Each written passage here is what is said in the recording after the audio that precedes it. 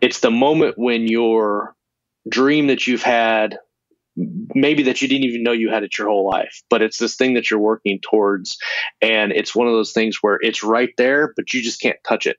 It's like behind this glass and you can't touch it but you want it really bad uh, and then somebody calls you and says hey i'm going to come move that glass for you tomorrow. Would that be okay with you?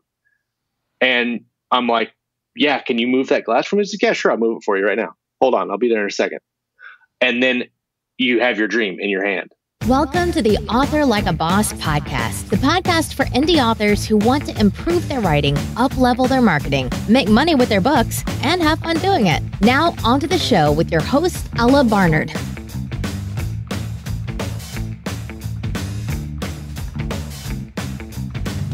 Hello, bosses. Welcome to Author Like a Boss. We are here today with Josh Hayes. So, Josh, Hello. yeah, hi, Josh. Josh spent six years in the U.S. Air Force before joining a local police department where he's worked for 10 years. He is a community policing officer and an assistant bomb technician on their bomb squad, which means he's total badass and like, like, like I read that and I was like, whoa. Okay. okay. So he also on the side, you know, he has he, writes. So he's started a live YouTube show called Keystroke Medium, which is very clever, with fellow author Scott Moon, which has turned into a very active community. He writes science fiction and fantasy. He's been invited to approximately 10 anthologies, a writing collaboration with Richard Fox and he's been recruited to write a novel in Nick Cole and Jason Anspach's Galaxy Edge universe. Wow. Josh. busy busy busy Yeah. Wow. Thank you so much for taking some of your time to be here. oh yeah absolutely Really excited to have you here. uh, thanks for inviting me i appreciate it Yeah. So let's just jump right into it so we're not taking too much of your time. oh no don't I, I blocked out time so i'm good Okay. i'm not in a rush Okay. Um, can you tell us a little bit more about yourself and your author journey? Because in the bio, I mean, obviously you've got some crazy cool for for you. It's probably just typical, but for us, we're like, wow, know, like, wow. So how did this happen? The bo- you know the the Air Force, the police, the bomb squad, and then also an author. Um, I- you know, it all happened kind of very naturally. Actually, I, uh, know, before I joined the Air Force and before I joined the police department, uh, I, I wrote before any of that happened. Um, not professionally, and not that anybody read it, but um, I started uh, very young in my uh, aspirations to becoming a writer, and uh, kind of started back in probably the early '90s, late '80s. Um, we lived in Germany with my dad, who was in the army at the time, and we got one channel, AFN, and uh, the Armed Forces Network, and um, they played uh, Star Trek: The Next Generation, uh, and the episodes were probably like a month late. They weren't uh, the most current, uh, but that's that was their like that was our weekly thing as a family. We'd watch Star Trek: The Next Generation. I really got into it. and I really liked it, and uh, that really kicked off my kind of enjoyment and love of science fiction. And um, as we continued to like expand our um, viewing of science fiction, uh, uh, late early '90s is when a lot of really cheesy science fiction. Mean, they still make cheesy science fiction movies, but oh, they they started coming out with a whole bunch of them, and so we just watched all that we could and uh, by, by the time we moved back to the states in about 92 uh, i think it was like 13 or 14 uh, for some reason or another i don't know why i did it but i pulled out a little notebook uh, a regular uh, wide rule notebook and just started writing and uh, i've always read books too i started out with the hardy boys when i was really young and um, progressed all, all, the way through, you know, the, the, normal stuff like David Weber and Star Wars novels and stuff like that. Uh, and and for whatever reason, I just started writing that that one story. I didn't know that it was a novel or a novella or a short story or whatever. I just was writing a story, and uh, I still have it somewhere.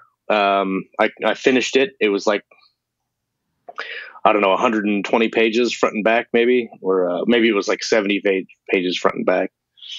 Uh, and then just continued from there and dabbled with it uh, for several years. I'd um, push it aside for several months at a time and come back and write a little bit more or start a project that I was really excited about, then get bored with it and go off and do other things. And um, when I joined the Air Force, I uh, kind of got put on hold for a while. Um, and I, I, really wasn't writing with any aspirations of becoming a writer, um, being paid to write or, you know, being a best selling author or anything like that. Uh, I just did it just, it was interesting to me. You know, you start uh, developing characters and worlds and you're like, oh, this is really cool. I'd really like to be there.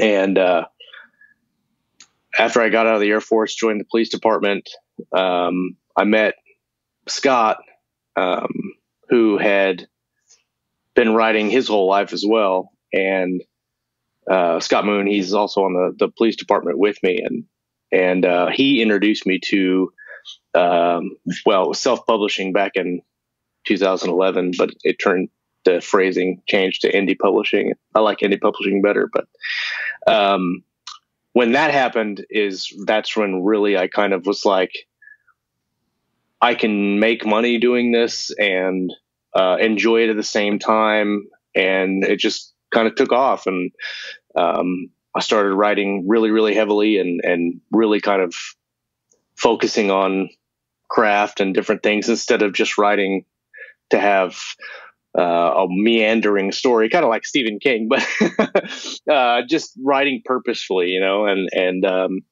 Scott and I started uh, Keystroke, and um, uh, it was kind of off to the races at that point. Oh my gosh! I, you have more? Yeah, keep going. Uh, it's been. Oh, sorry. I, uh, sometimes I ramble on, so I don't know if uh, no what I'm saying is interesting or not. There's like half a dozen things that I'm like, ooh, I want to ask that, that, that, but I'm wait, but I don't want to interrupt you.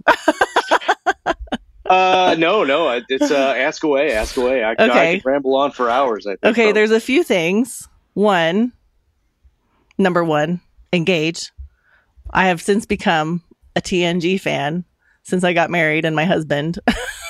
Yes. it's on Netflix. It's her like go yes. to, go to TV I've gone show. Through that series on Netflix so many times. Yeah, so many times. um, also, and it gets better every time. I think. it's it's it's you find something else new. There's only a couple of episodes where I'm like, they're in France and yet everybody has different English accents. I'm like, I right. can't handle this, but it's it's too cheesy to not love. Um, oh. The other thing is, um, sorry, you guys, everybody, this is just me and my own personal interest. It's not about the writing, but I lived in Germany for a year. Um, where did you live in Germany? Uh, I lived in, it was a small, small uh, auxiliary base attached to Baumholder, Germany, which I think is like an hour and 45 minutes south of Frankfurt. Okay. Um, don't, so, don't quote me on the directions. No, uh, yeah. I was nine or 10 when I lived there. Um, uh, but it was a very small base. Um, my dad was attached to a uh, anti-missile rocket kind of battalion. I'm not exactly sure. Yeah. Um, I was yeah, just curious li- because the school I went to, um, the school that I went to, because I went in high school, also yeah. all of the military kids, U.S. military kids, went to the same school. So I was like, how crazy would it be? right. if, yeah. Like, I'm just a tiny bit older than you. So how crazy would it be if we were both like in the same school and now all these years later, we're like, oh, but nope, not quite because I was in Berlin. So, but close. Ah, Berlin. Close. Yeah. Yep. Absolutely. Okay. Very cool. Okay. Sorry, guys. Back on track. So no, that would have been really cool, actually. I know. And that happened to me one other time. So I was like, that's crazy. It could happen. Um, okay. So now I have a couple of things I want to know. Can you tell us a little bit about Keystroke Medium?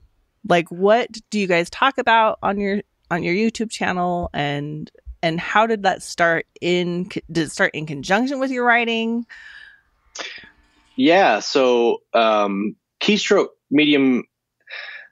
Um, I call it keystroke for short, so th- it's the same thing. But okay. uh, I so Scott and I, when we when we first started talking about writing, um, we'd do it occasionally. We'd pass each other at work. We, we at the time we didn't work in the same bureau, so we'd see each other occasionally, and I'd stop and and you know have ten or 15, 20 minute conversations, and uh, our friendship kind of grew from there. And then uh, we started um, having like weekly. We'd go to lunch or or we'd go have coffee or something, and just kind of talk about um, writing and kind of what we were working on, and you know getting each other's thoughts on different things. It wasn't really a writing group per se. It was funny because I I tell my wife, hey, I'm going to go to my writing group, and she's like, "You mean you're going to go have coffee with Scott?" And I'm like, "Yeah, yeah, that's that's what we're going to do." Uh, but so it it um, we'd meet at Starbucks or we'd go to like Chili's or whatever, and just talk. And uh, I've got I've got four kids. I've got uh, two with my current wife, and then two with uh, uh my ex-wife. And uh, that particular weekend, uh, I had all four of them there, and I could not meet Scott on our regular day. Um, and so I was like, "Hey, why don't we just like jump on the computer real quick and like just knock out our conversation and talk about stuff?"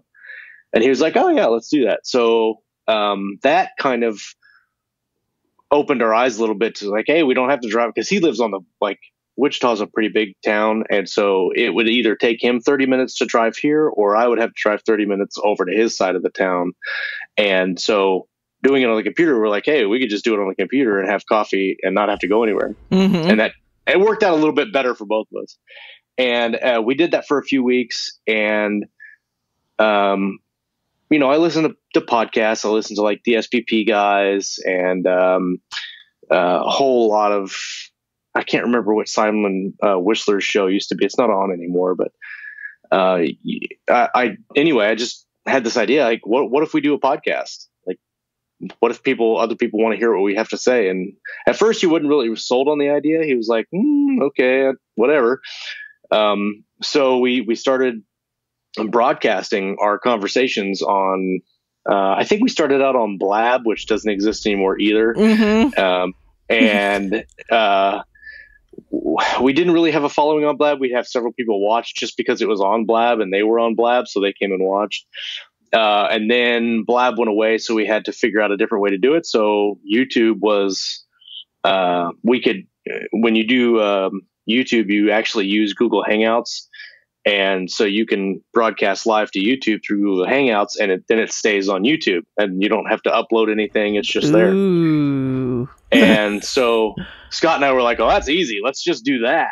Yeah. And so we just we started having our weekly writer meetings uh, broadcast on YouTube, and we'd pick some topics and talk about them and nobody watched and it was it was horrible like uh, our our introductions were like just horribly done and not rehearsed at all we had no idea what we were doing and um, i i mentioned to him after about two months of doing it i was like we should try to have a guest on and see how that works out and he was like all right i've kind of like pulled scott through like by it, by it by it. like he didn't really want to come and I like threw a chain around him. I was like, "No, we're doing this right now." and so we we there's another uh, a writer. His name's Ralph Kern. He's from England. He's also a cop, and I was like, "Hey, that's a kind of a cool trifecta. Let's do that. Let's see if he wants to come on the show." And he did. And uh, after the show, he basically messaged us and said, Hey, I read your guys' stuff. I really liked it. I'm doing an anthology with this other dude, Nathan Hystad from Canada do you guys want in? And we were like, yeah, sure, we'll get in. And that spiraled into uh, doing interviews of all the authors that were in the anthology, and uh, kind of the it, it, the show kind of blew up from there. And um, uh, because of the show, like we had uh, we had Richard Fox on as a guest. Um, we had uh, Peter F. Hamilton. We've had Neal Asher. Uh, Michael J. Sullivan's been on the show. David Weber's been on the show. Wow. Um, we've had uh, just several big name big name authors. Michael Anderle's been on uh, a couple times. Uh, Craig Martelle's been on several times. Um, but because of the show, um, which we started with absolutely no idea what we are going to do, it spiraled into this huge network of people that we now know. And so, like you read in the, the beginning, we've we got invited to all these anthologies to work on. Um, at the beginning of 2017, Richard contacted us and he wanted uh, to do some collaborations. And then um, back in 2017, Nick Cole and Jason Anspach created their Galaxy's Edge universe, and uh, Legionnaire and uh, uh, Galactic Outlaws were coming out. And I sent them a message I said, Hey, if you guys ever open up for other authors to write, I want to write in your universe. And they said, Write us a pitch. And I did. Took like three days, and I wrote them. Uh, I, I outlined an entire novel and sent it to them. And they said that's great, but we're going a different direction because I wrote kind of like a, a Han Solo esque type uh, story with um, uh, smugglers and whatnot, and they said we're going a different direction. We're going with kind of a military sci-fi vibe, and right now we're not going to open it up, but maybe later we will. And then Legionnaire, of course, uh, I don't know if you follow them or not, but their their Legionnaire took off, and then their whole series took off and they've got six figure audiobook deals that are audio only and um, they've got uh, karen traviss now writing for them who's done star wars and gears of war and wow. all this other stuff and so anyway they con- they sent me an email uh, last year and said, "Hey, are you still interested to write?" And I said, "Yeah." They said, "All right, come up with a mil sci-fi book. Here's the Bible." And I read the Bible, and I was like, eh, which is their world universe deal. Mm-hmm uh, I said, uh, okay. And I did. Uh, it's, uh, it's turned in, it's in edits right now. Um, and I think, I think they're going to start doing that series here in the summer. Uh, so anyway, that's a long, sorry, that's a really long answer to say we started Keystroke to kind of just talk about writing and it has basically turned us into, um, but it, it made our dream come true because now we're writing and getting paid for it. Yeah.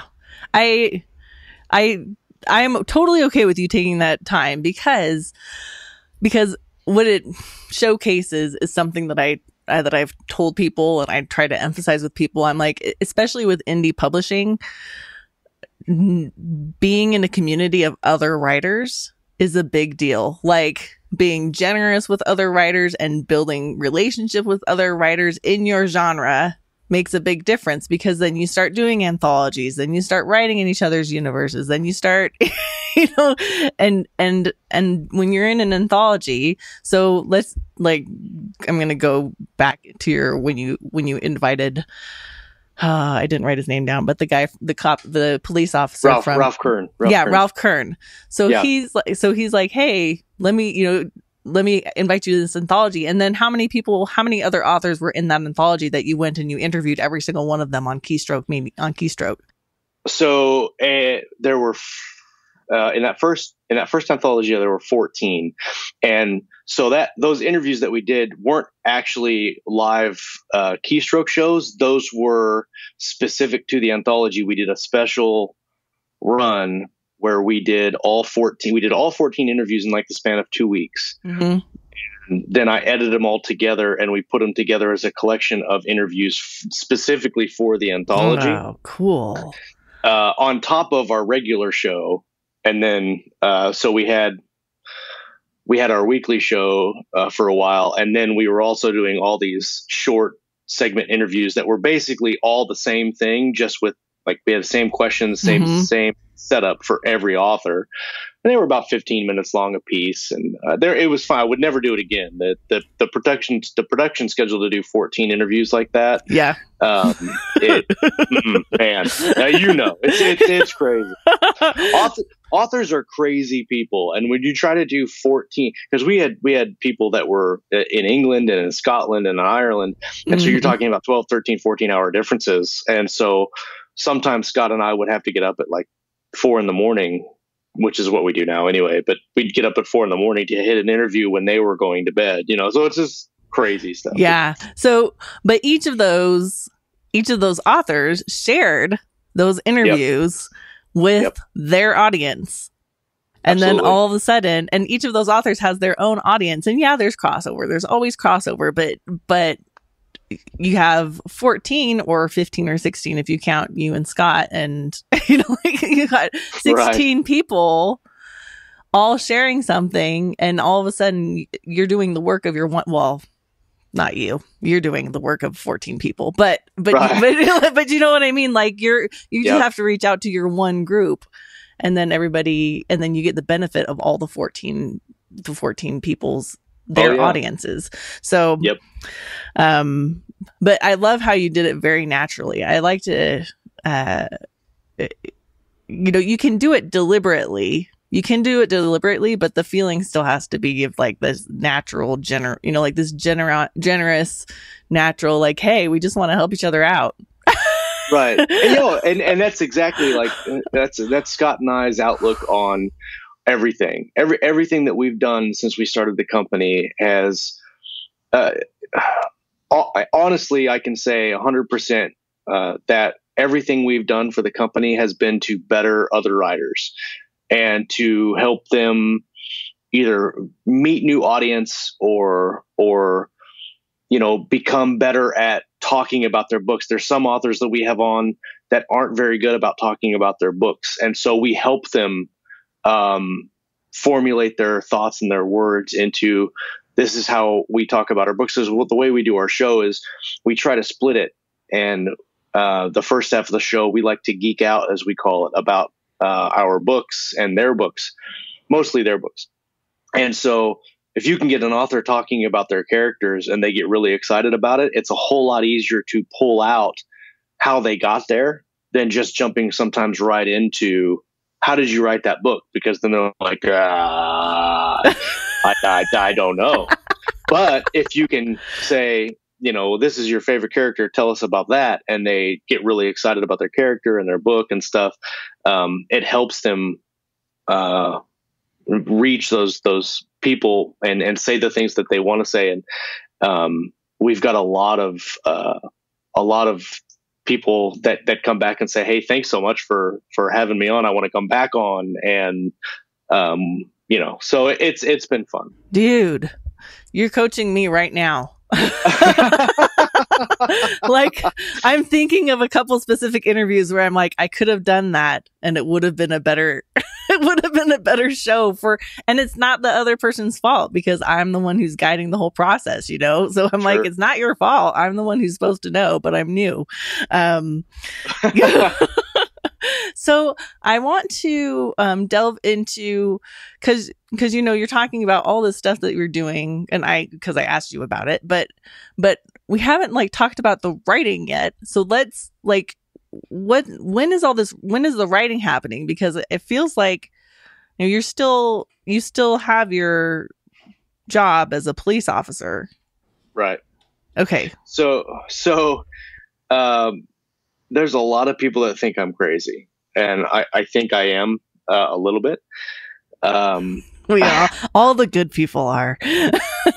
um, so when you talk about, yeah, exactly. When you talk about time, um, I used to be caught up in the the whole I don't have enough time to do to write, you know, um, and uh, I would get you know 20 30 100 words 200 words a day become distracted with you know everything that i needed to do during the day whether it's kids or dishes or laundry or whatever and uh, i used to work second shift and for our department that's uh, basically 11 a.m to 9 p.m and i'd write after i got home. And you know you'd sit down to write and you're just drained through from the day and your mind doesn't work and you're like oh but i got to get these words done and um and it, it, wasn't a good place for me. And i kept hitting these roadblocks of uh, this is dumb this isn't going to work for me i need to figure something else out so what i did was i sh- I, I, went to first shift which is uh, basically 8 a.m to 6 p.m and i get up my alarm goes off at 4 a.m. every morning, and uh, I usually drag myself out of bed by 4:30. if I if I if I get past that, my wife hits me because my snooze alarm pisses her off, and she's like, "You need to stop hitting the snooze alarm and get out of bed." so I drag I drag myself downstairs. My coffee's already ready. It's on a pod on my desk next to my computer. Um, I take a drink and you know kind of gaze around uh, in the ether for a while, and then I start writing. And so every every day before I start my actual work at, at my day job, I've got two and a half to three hours of of writing in. Um, and usually that equates to something between 1500 and 2500 words a day, just depending on how good of a flow I get into. And uh, I do that every day. On on Saturdays, I sleep in till like 5:30, and on Sundays, I sleep in till like six sometimes.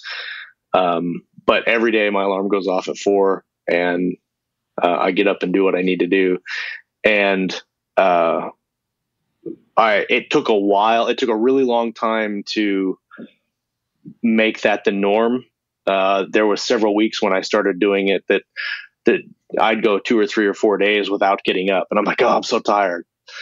Um, but once you train your body to do it, you know, it's just like anything, muscle memory. Uh, it's it's much easier to do. So there's been several times uh, here recently where I wake up before my alarm clock goes off, and instead of going, oh, I got five more minutes of sleep, I'll go back to sleep. I get out of bed and I go downstairs and I start working. And so it's just, you know, focusing on on on the time that I have to use instead of the time that I didn't use to write.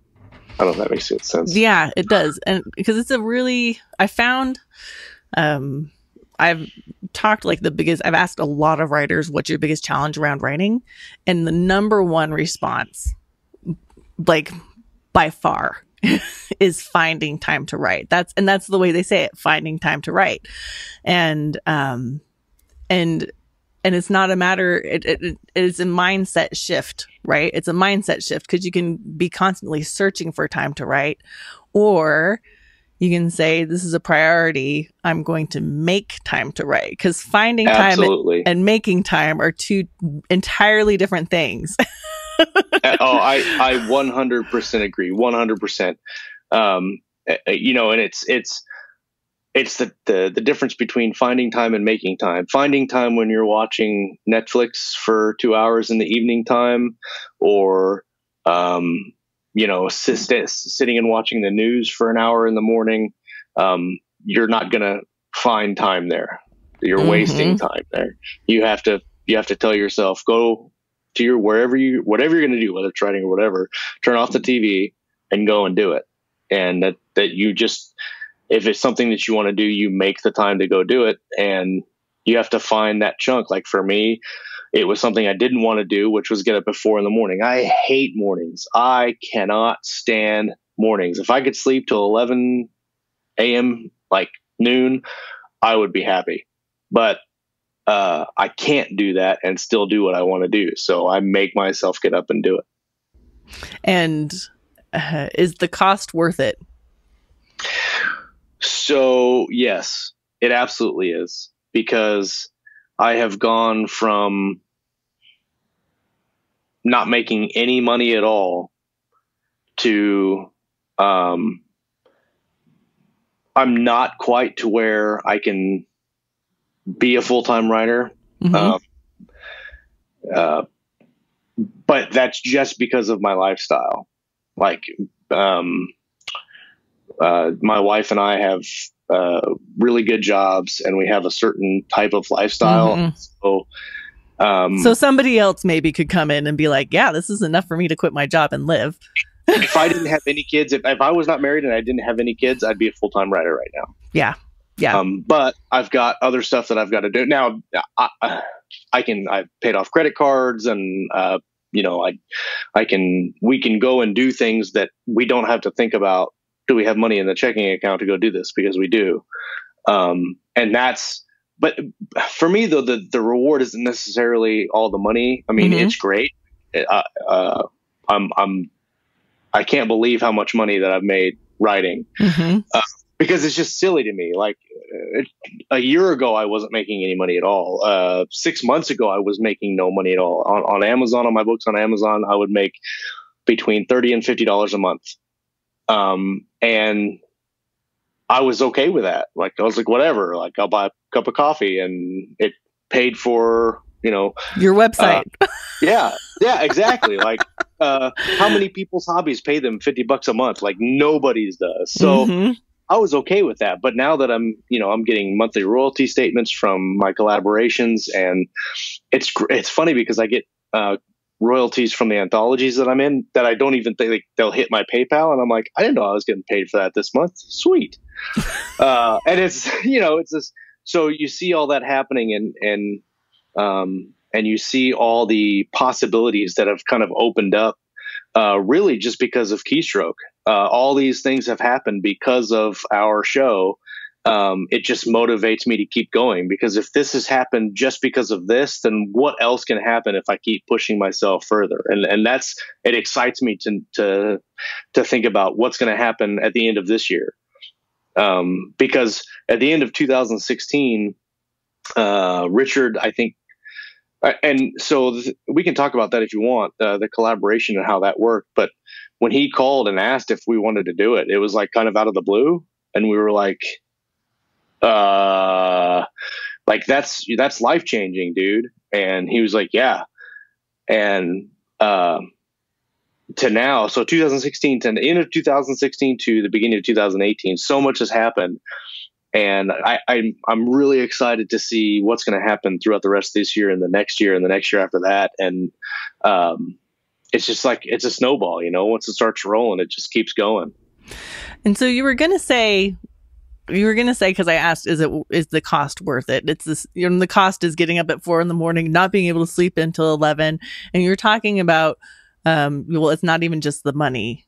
Is it this excitement or what is this other, the other part of it that's, Yeah, I mean that's what it is. It's you know, it's it's uh, it's it's knowing that people are reading uh, and enjoying what I like, and that's that's really cool to me. I, I look, I would write if nobody read my stuff, probably, um, but you know, getting emails from from readers. Um, uh, or you know just interacting with people in the keystroke group on facebook that have found us and enjoy hanging out with us and talking with us that stuff's motivating to me like i love that kind of interaction with people and and peers and readers alike and so all of that um the money is great but um just the collective atmosphere that we've kind of created and and uh, grown out of keystroke and and writing uh, is motivating to me, and that's why like I'm just pushing myself all the time. What can we do? What can we do? What can we do?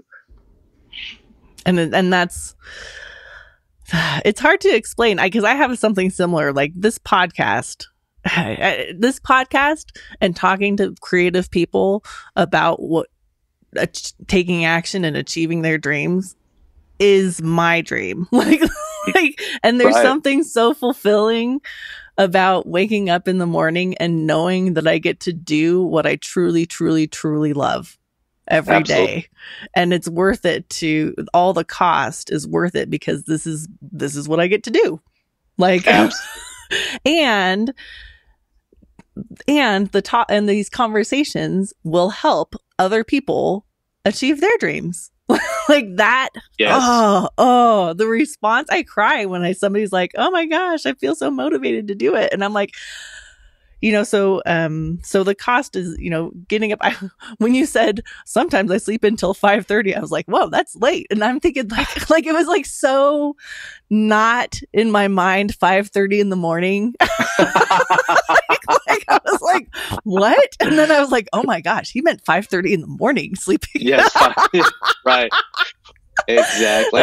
Yeah, like this this morning, I I because I have two alarms on my phone: the 4 a.m. alarm and the 5:30 a.m. Uh, alarm. And so, you know, Monday through Friday, I'm setting the the 4 a.m. one, and then on Saturdays and Sundays, I hit the 5:30 one. I'm like, oh, I get an extra half an hour or hour and a Hour half. and a half. It's so exciting. yeah. Oh my gosh.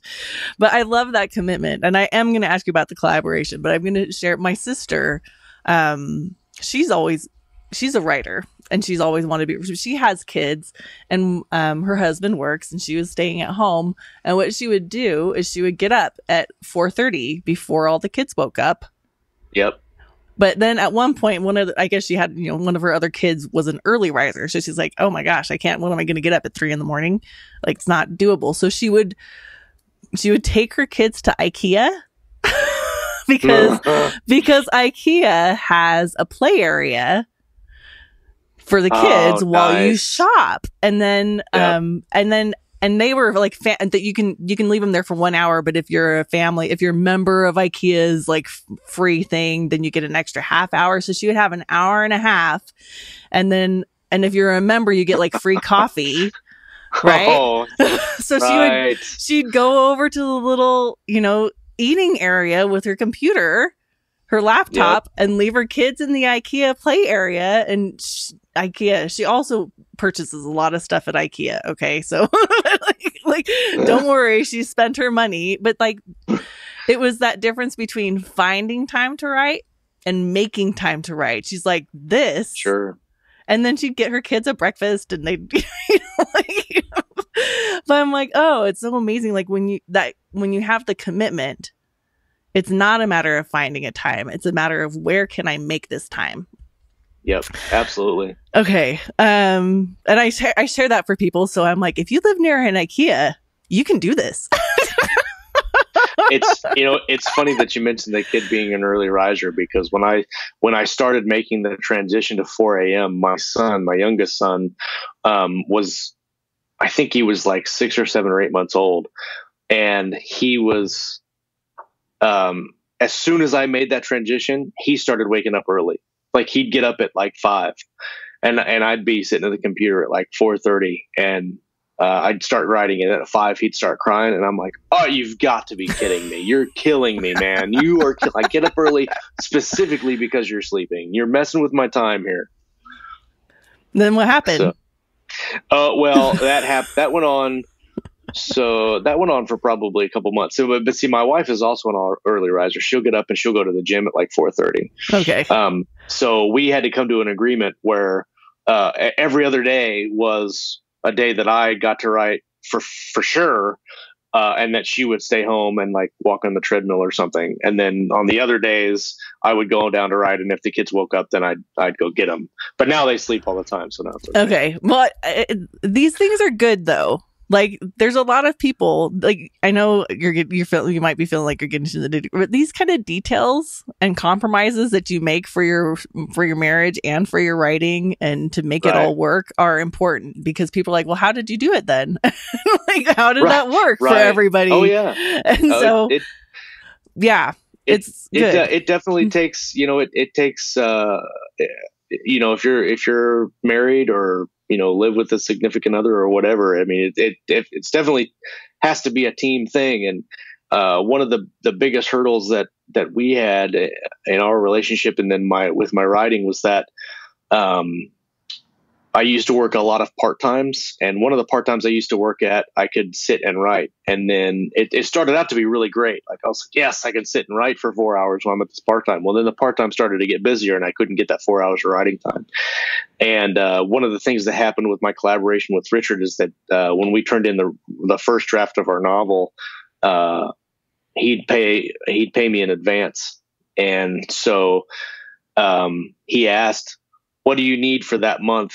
Um, to cover? What, what would you need for a month of expenses if you quit your part time and you can start writing the second book? And I told him, and he said, "Okay, done." And I was like, oh, "Hold on, let me talk to my wife first. And so basically, what I told my wife is, "I'll quit this part time. Richard's going to give me an advance, but if I quit this part time, then I have to be able to go downstairs for the time that I was going to be at the part time." So on like the four hour block that I would work at at my part time, I would take that time and transfer it into sitting in front of the computer at home on whatever day it was.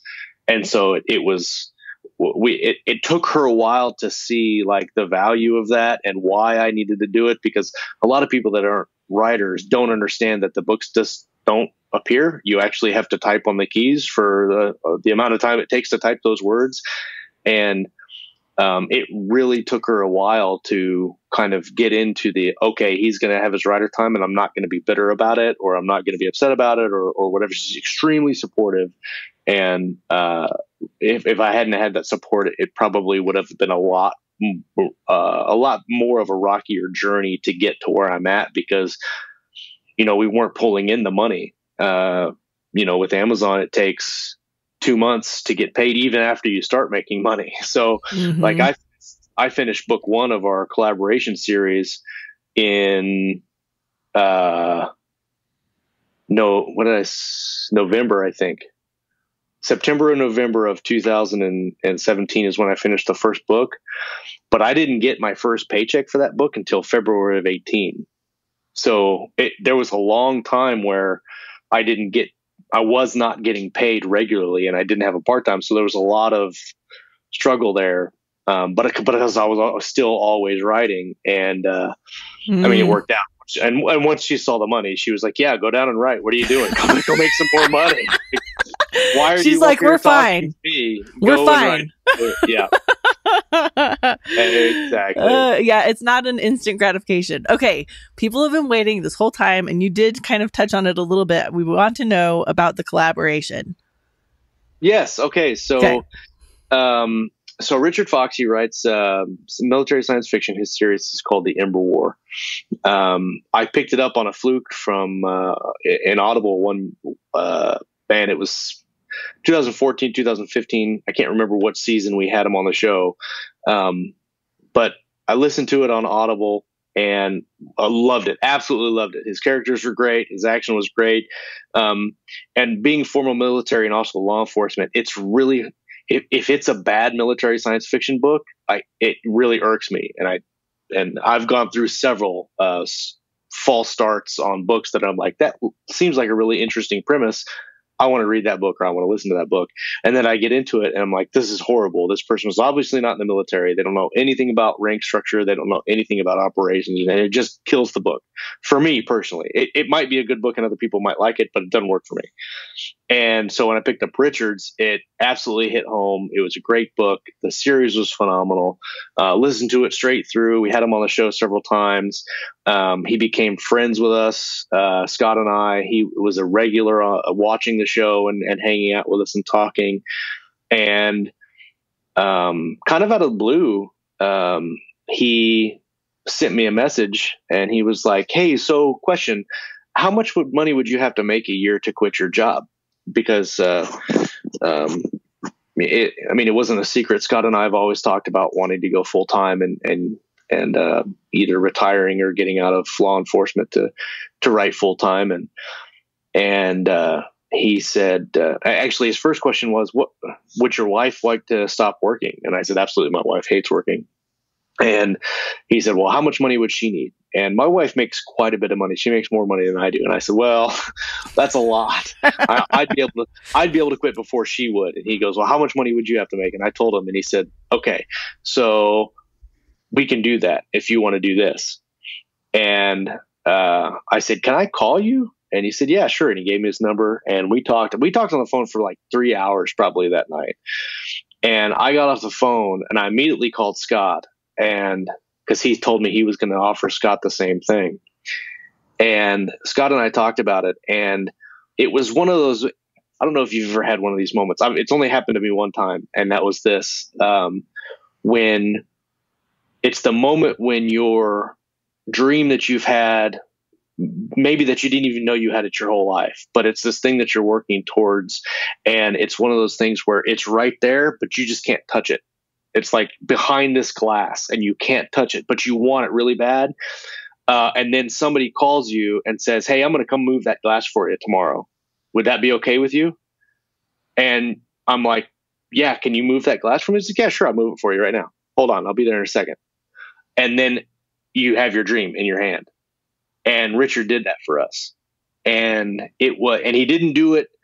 Um, he didn't do it uh, for any uh, self-aggrandizement or any uh, deep-seated personal like agenda that he had for whatever reason. He just was generally he wanted to.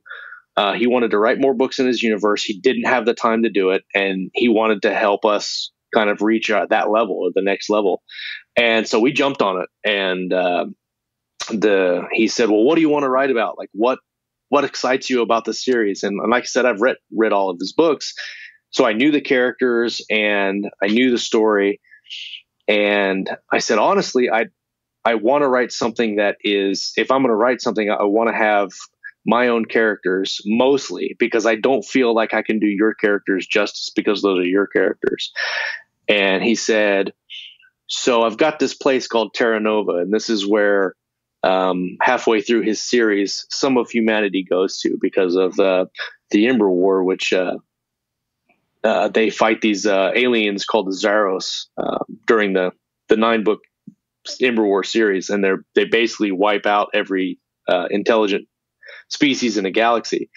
And so halfway through the series, the humans are losing, and they think we're going to lose, and they find this other galaxy, and they've got all this tech and hand wavium and whatever. It's not interesting, but they go, we're going to go set up another colony out here. But the catch is, we can only get there like every twenty to thirty to sixty years because of gravity tides and blah, what have you. And he said, we can go out there, and you can write whatever you want out there, and it doesn't affect what goes on in this universe and people want to know that story and i want to tell that story and i've got a really good idea about what we're going to do with it and this and that and i said yeah sure. And so we spent two or three months plotting it out and um, uh, we had all these characters and all these these uh, things plotted out and, and ready to go and then he called me this is funny richard's very he's a very odd guy if you get him on the show he, he's he's a great guest to have and he said, "Hey, what if we make the main character? We named him uh, Carson. So what if we make him a girl?" And and I said, "I like that. Let's make him a girl." He's like, "All right."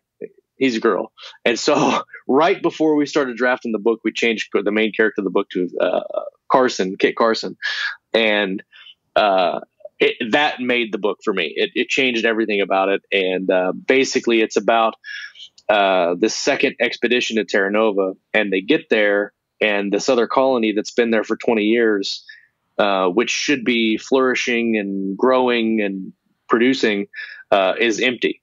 It's abandoned, and no one's there, and um, they don't know why. Uh, they go down to the planet and they get uh, attacked by what we call the the Nether Guard. Um, they're basically some uh, biomechanical grown hybrids um, and they have this uh, mystery about what happened to the colonists and what are these other aliens here. And then they, they find this basically alien prison uh, and have to figure out where the human colonists are. And it's, it's, um, it's a really, really fun story. And we get to kind of play around with anything we want because the the galaxy is brand new to us and to the readers. So uh, we create brand new characters. Uh, the main character in his Ember War series, Ken Hale, comes with the uh, expedition, and he be, instead of being a military character, he's now kind of the governor. And he has several scenes and several arcs in the book, um, but he's he's not the main character. Kit uh, Kit Carson is, and um, we published that book in December, and uh, we published the second book, which is Bloodlines, in February of this year.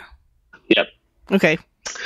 So we yeah we published we published book one in well I can tell you uh, we published book one I think in November yeah end of November 2017 and then book two we published in uh, March published in March and um, I'm I just started book three. Um, I just finished the first chapter of book three this morning, and that should be out um, this summer. I had to stop uh, between books two and three. I had to stop to finish my Galaxy's Edge novel uh, for Nicole and Jason Anspach, and so that uh, pushed back the production table on book three for Terra Nova. Good kind of problems to have. I have no time. I have all these stories in no time. these are the good problems. Yes. Um, so, how many books had you written before Richard reached out to you for this collaboration? Uh, so I'd written eight short stories for various anthologies, various genres. Uh, I wrote a mystery one. Uh, the rest of them were basically science fiction. Uh, I wrote one superhero um, short story, which I'd never even thought about writing in that genre until a buddy asked me to write in this anthology, and I was like, "Yeah, I'd never done it before. Why not?" Uh, and then my own books, I have three books uh, in my Second Star series, um, which is not finished. It's supposed to be four books. I have no idea when I'm going to get to the fourth book because that series doesn't uh, pay as well as the series that I'm writing now. Um, so I'm hoping to finish it uh, either by the end of this year or 2019. We'll see.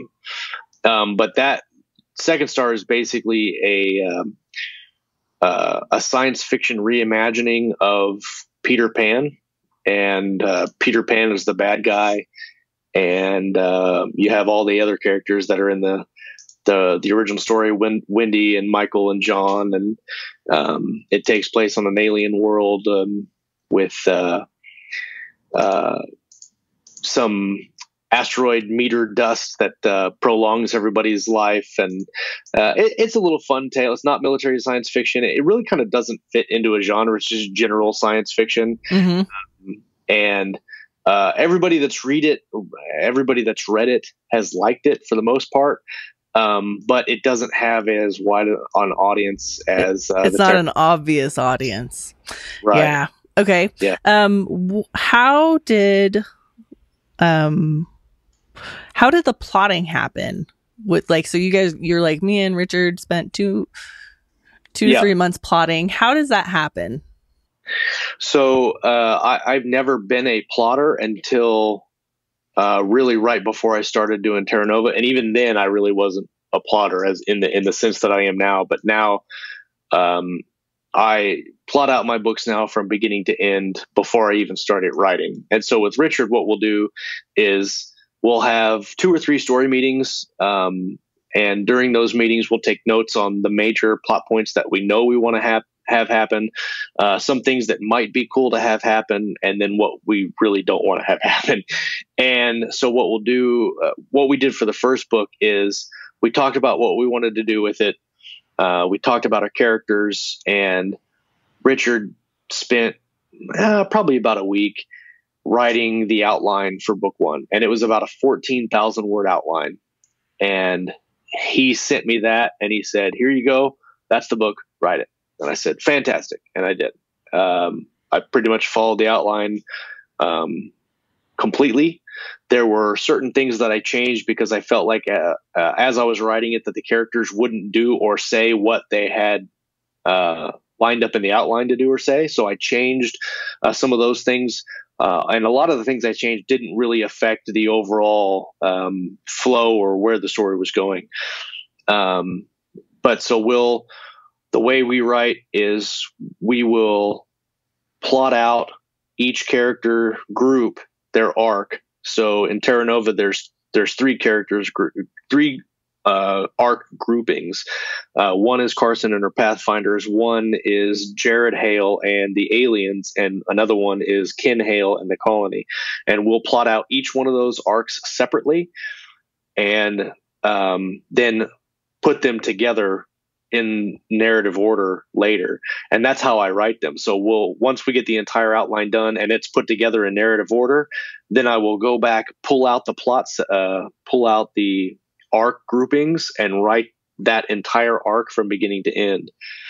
Um, and then after they're done put them back in together again because i feel like that helps the um, connection from scene to scene when you get back when you leave a character group and then read some instances uh, in, in somewhere else or another pov and then you come back writing it all in one shot helps that continue uh, continuality uh, between the scenes and it, it really helps it flow a little better.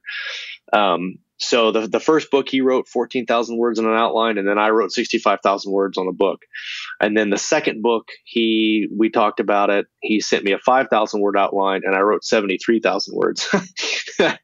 and uh, I think our outline now uh, that I wrote I, I we pretty much uh, half and halved this outline.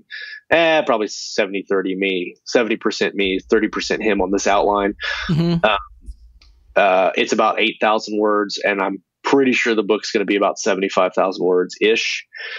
Um, and I, I, I'm gonna I'm gonna I'm gonna do you a solid. So I've never told anybody this before, and Richard probably be mad that I'm telling you this. So uh, we met in February. I went to Vegas uh, for a work deal, and we met and we we ironed out some of the big deals for plot uh, uh in book three. And I said, I'm really interested in. We were talking about the length of the series, and I, I think a lot of series they get overdone like you have like 18 books in a series and you're mm-hmm. like oh i don't want to start that book i don't want to read 18 books in a series so we were talking about how long we wanted terra nova to go and i and we had it our originally plotted for five and he said you know the book's doing really well we can take it to nine if you want or whatever and i was like in my head i'm like no i don't think that i want to go past what we already have outlined because i feel like we would stretch and people would would see the stretching because it, it, there's just not enough there in the story that we want to tell for the original uh, Terra Nova story. And I said, but what I do want to do is write a story that takes place after the events of Terra Nova, and uh, I want to write that as like a uh, a Firefly slash Andromeda type series where it's on a ship, but you've got all these different aliens and, and characters on the ship that interact together and they go and they do fun things and they have a mystery or whatever. And then there's some big overarching thing that happens that they get involved in. And, and I said, what I, what would be really cool is if, uh, I just do that and that would bridge people from it would be like a, a bridge from richard and josh to josh writing in richard's universe then to just josh and writing in josh's universe. And it would be kind of an easy bridge for readers. Mm-hmm. and he said i really like that idea. And so he said i for the next couple of books i want you to take more of a control in writing the outlines because I want you to end up with characters that you're going to need in your books. And so for book three, I'm starting to steer the characters and the, the plot to how it's going to affect this other series that I'm gonna write after we're done. And I created a really, really cool character for book three. That's a, uh, it's a robot, uh, android type uh, AI um, that is a spy, but also has uh, split personality, basically, where one one one side of his intellect is like really, really, really, really smart and very like uh, computer like in its thought process, and Data. the other, yes, uh, but the other half is it, he's a spy and he's supposed to be like kind of fitting in with these all these biological aliens. So the other half is uh, developed as a personality so he can have a personality and kind of read what other people are doing. And so the personality side and the computer side conflict sometimes. And and so you're going to have a lot of really neat internal dialogue between the data side of his personality and the side that's like nah i'm okay. We're good. Let's do this. Uh, so I, I think it's going to be really fun. That is awesome. That's so much fun. I it sounds like, and tell me if this is true. It sounds like this is my last one of my last questions. this is so much good stuff in here. Maybe I might invite you. Like, if you're open to, I would love to interview again later. We could have some other in a few months. Maybe once you once you're doing your uh your series. Like minutes almost. Yeah, it's it's. I know. Um, I don't want to take too much of your time. I'm really interested. Sorry, sorry for hogging the mic. No, no, no. It's really, really good go, stuff.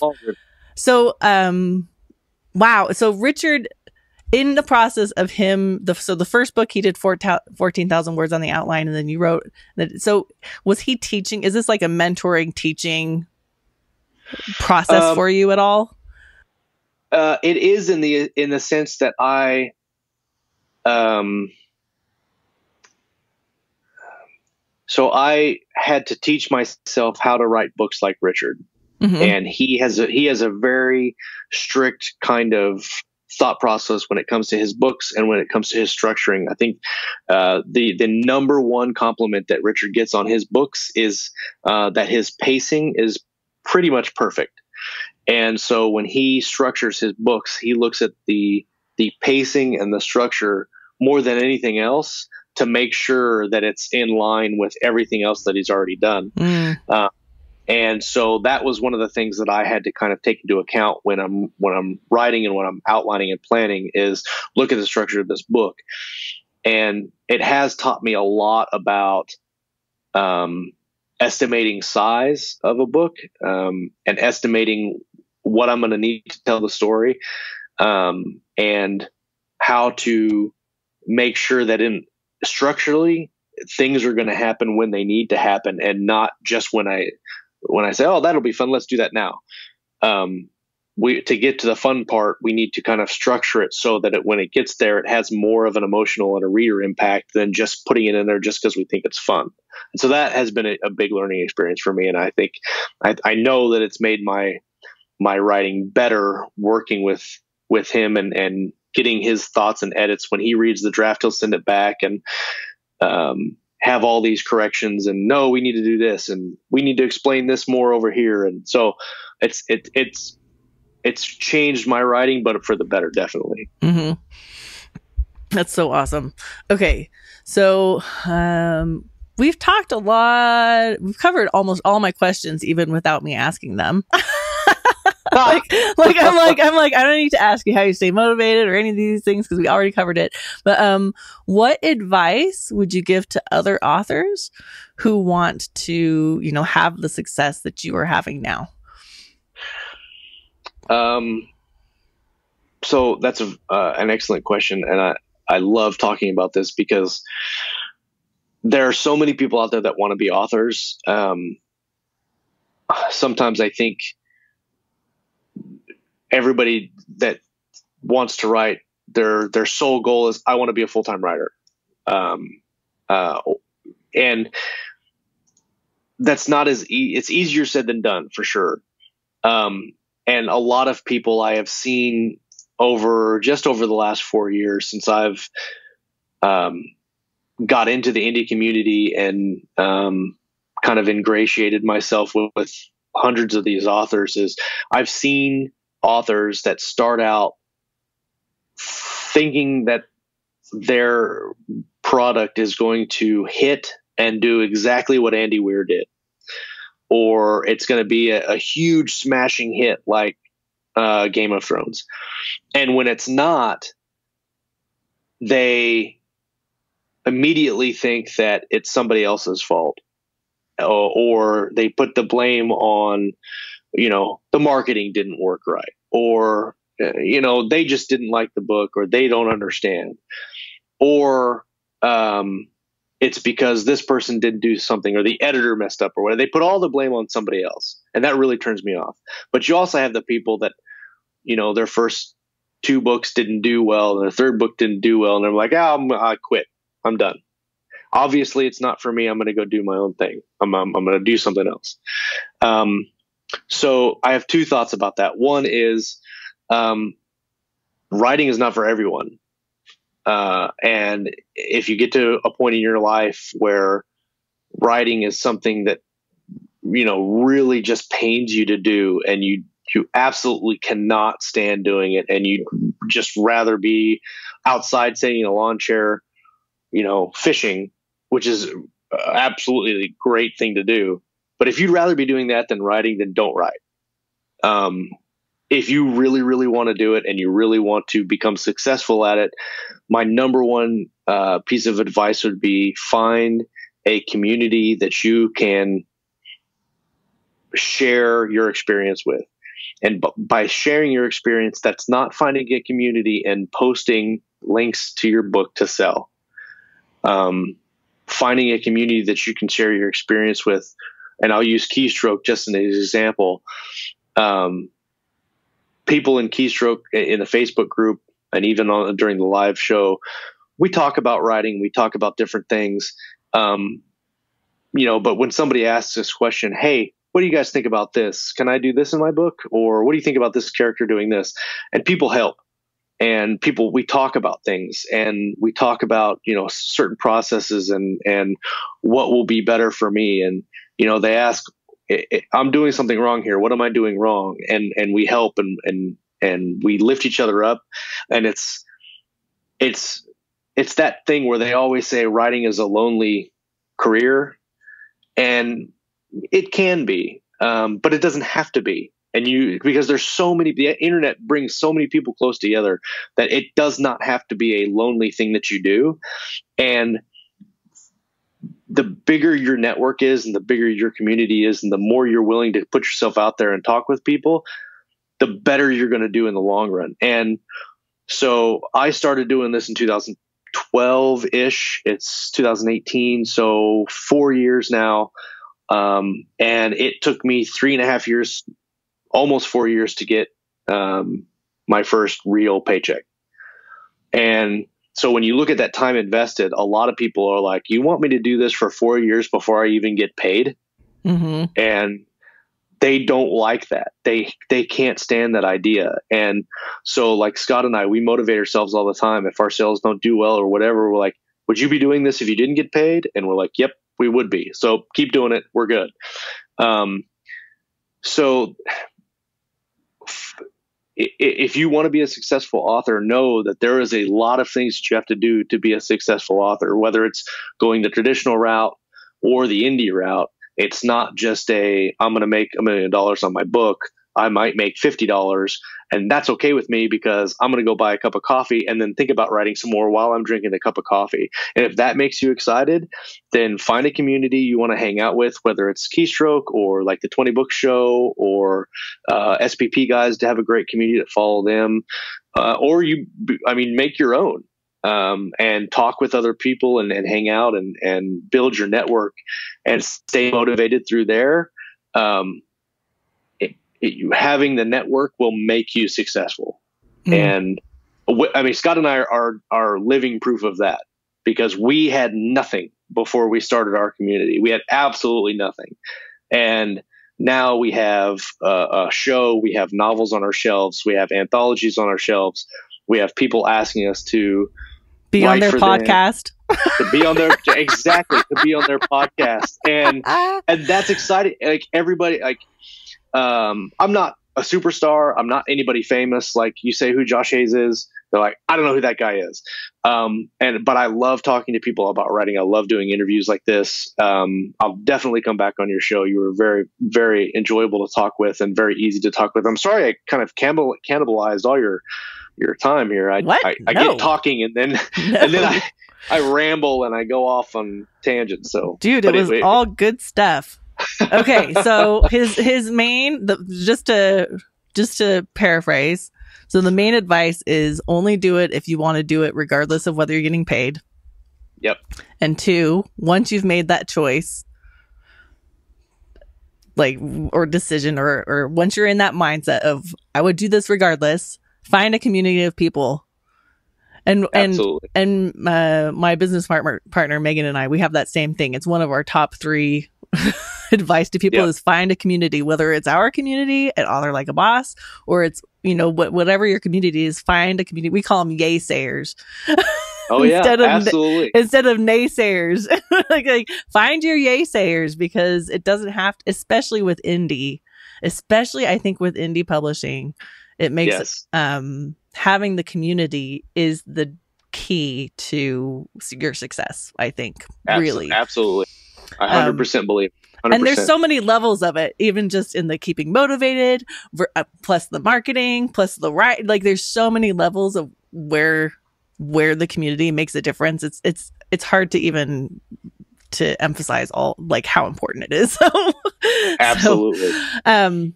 Okay go ahead. You've talked a bit about your books and they're really exciting. I have never been so much of a sci-fi, but as I'm talking to a lot of these uh, sci-fi space opera authors, I'm like, I might need to branch out because I don't think sci-fi is the same as it as it was when I was younger and and you know exploring the different it's, genres. You know, it's, it's got a little bit of a stigma to it for some for whatever reason. For, it's got a little stigma. I think for and, women more, right? Like right. like when I was younger and just starting out, I was like, the women in this are not people that I want to look up to. You know.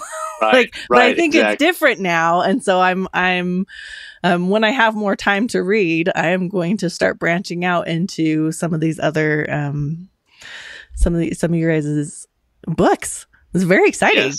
Okay, very cool. so go ahead and tell us about the the latest books and where people can find you and them.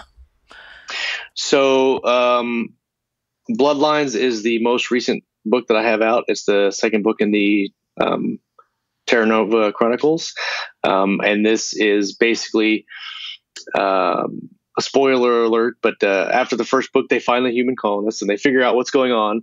And uh, in book two, they have to go find allies to to fight these. Uh, uh big bad aliens that are causing a whole bunch of ruckus. And so, so bloodlines, you find uh, Carson going off um, to these uh, new worlds and meeting these new uh, alien races and and um, trying to enlist some help to save their uh, their colony.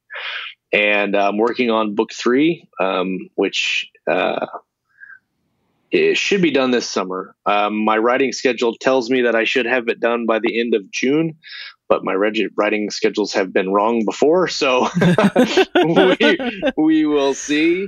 Um, and uh, the audiobook is being done by Luke Daniels right now. Uh, Podium Publishing bought the audio rights um, like not 24 hours after we published the first book. They bought the audio wow. rights.